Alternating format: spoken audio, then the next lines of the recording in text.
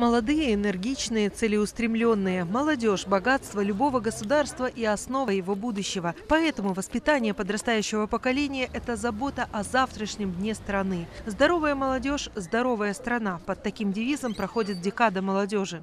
Под единым девизом э, мы будем э, проводить эту нить с тем, чтобы еще раз дать понять молодежи, чтобы еще раз воспитать в них именно те ценности, которые включают в себя преданность своей родине, э, самопожертвование, но самое главное – это вести здоровый, здоровый образ жизни, потому что сегодня, если здоровая нация, будет здоровое государство.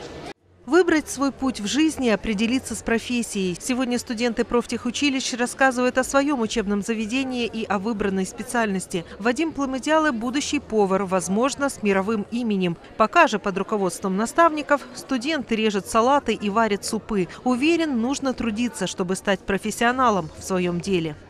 Мои цели, я считаю, что можно достичь через практику, привлечение других специалистов, с помощью которых можно совместно придумывать разные рецепты, Э, консистенции, придумывать новые блюда. Нельзя быть только одним игроком на поле. Всегда надо иметь друзей, которые готовы прийти тебе на помощь. Только благодаря этому некоторые повара становятся самыми лучшими поварами мира.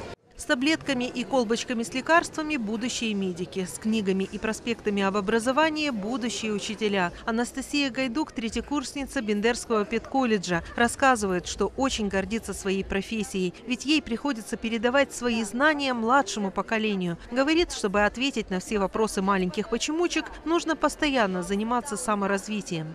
Я воспитываю сама себя, я читаю, стараюсь читать больше литературы, я смотрю новости для того, чтобы как бы расширять свой кругозор. Я занимаюсь музыкой, то есть я пою, я играю на музыкальном инструменте. Я считаю, что это мне все пригодится в дальнейшей профессии. Пока одни презентовали свои учебные заведения в фойе, другие демонстрировали свои таланты на сцене. Ярко, весело, с молодежным задором. Песенные и танцевальные номера чередовались с целыми представлениями. Здесь и шоу силачей, и волшебство мыльных пузырей, и дефиле мод от будущих модельеров и дизайнеров.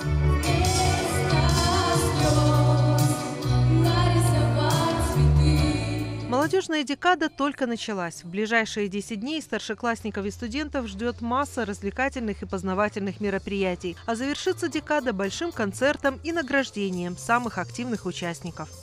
Жанна Настас, Иван Зелинский, Бендерское телевидение.